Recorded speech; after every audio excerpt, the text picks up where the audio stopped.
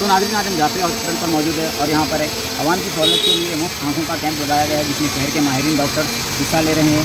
आप सब लोग भी यहाँ पर आकर इस स्कीम से फ़ायदा उठाइए।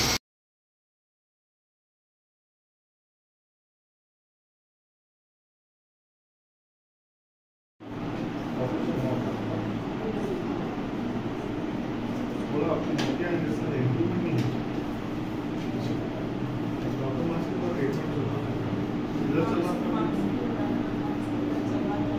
रेटिना का कुछ प्रॉब्लम हो गया?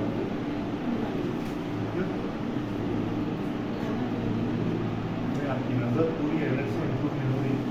एनएच का ट्राई कर लिया आप ये और अच्छा आप